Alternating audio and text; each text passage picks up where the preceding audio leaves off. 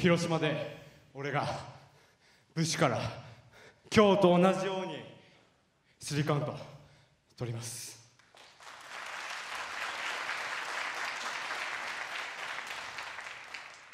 翔さん喋りますか？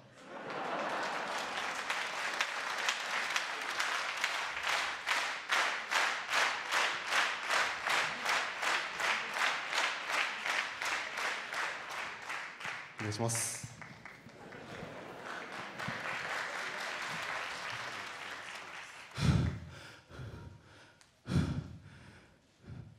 まさか。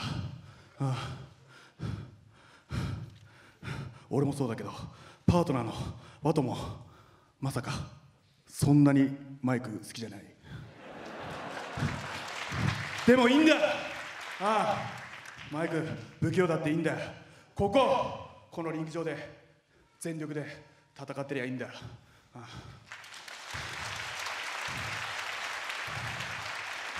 そう。ワトも大事な試合控えてる。もちろん俺も高橋宏夢。ああ。負けるわけにはいかねえんだよ。ああ。2月10日。ああ。最後に俺からは最後に一つだけ言わせてもらう。ああ。2月10日が終わったらジュニアのチャンピオンになるのは俺だ。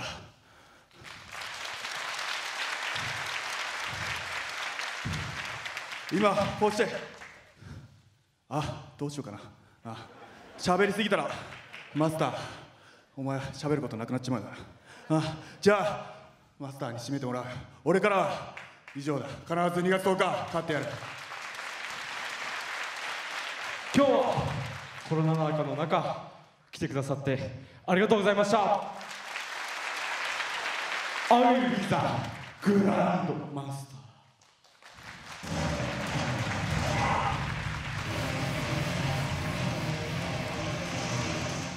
ー。ああやってらんねえよ。えレフリー3つ入れちゃうんだもんな。せっかく返したとこ。よーく見てくれよレフリー。あでもな正直嬉しいよ。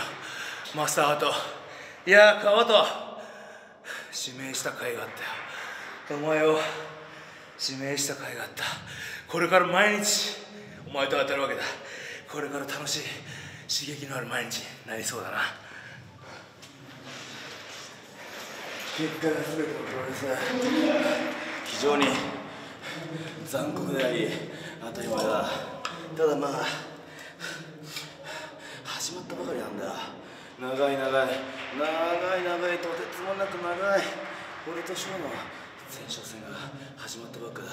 今日の感想は面白くて仕方ない。ショーとやり合えるなら前哨戦が何回やろうが。物足りない。何か物足りなさを感じるんじゃないかって。そしてうずうずしてしまうんだよ。早くショートやりたい。早く明日にならないかな。そんな感情が今とても嬉しい。これだけ17分18分？わかんないけどこれだけやり合った中でもうすぐにすぐにでもショートやり合いたい。こう思わせてくれる選手。最高だなあショー。俺とショーの最高の試合を見せてやろうぜ。そしてもちろん意識するだろう。なあ。ショー意識するだろう。俺たち広島2月10日メインイベント。そして2月の11日イブシコート VS 真田 IWGP ヘビー級選手権試合だ。いやでもこの2つのビッグマッチ必ず比べられるだろう。どっちが面白かったかって。なあショー俺とお前だけの戦いじゃねえぞ。ジュニア。ジュニア全てのためにそして自分のために最高の試合をしてやろうぜ。俺とお前ならできる。そうだろう。楽しみは仕方ない。いろんなものを敵に回してそして俺が勝つ。いや楽しかった楽しかった。楽しかったな。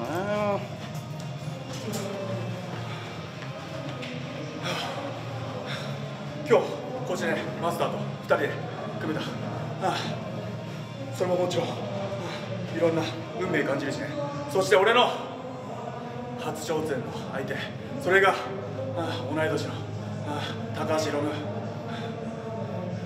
初挑戦の相手が高橋ロムだってこともめちゃくちゃ運命感じる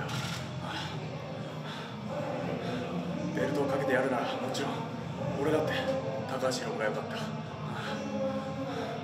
2月10日。俺はいろんな思いがあるんだよ。ああ。ただの2月10日じゃねえんだ。ただのタイトルマッチじゃねえんだよ。ああ。人生かけてでも必ず取ってやるよ。ああ。そして新日本ジュニア。俺たち。そう。俺たち俺ら2人だけじゃねえ。他にもいっぱいいる。対戦相手のヒロムも。武士もそうだ。他のユニットのやつらも。全員で。このコロナのコロナの中でも新日には俺たち支えてやるよ。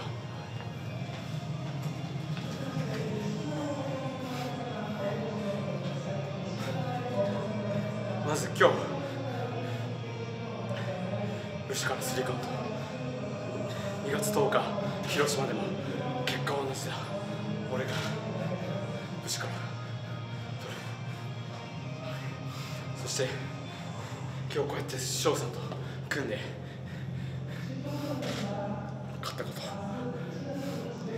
れからもずっとまた組んで戦ってきたらまあもちろん対戦相手としても戦いたいし組んでも組みたいしまあね対戦相手ね高橋宏夢というね IWGP ジュニアチャンピオンがいて俺もこんなところでつまずいていられないんでもちろん目指すは IWGP ジュニア。そして、まあ、その時にはグランドマスターになってるかもしれない。それかそれをまた上回る新日ジュニアのレスラーになってみせます。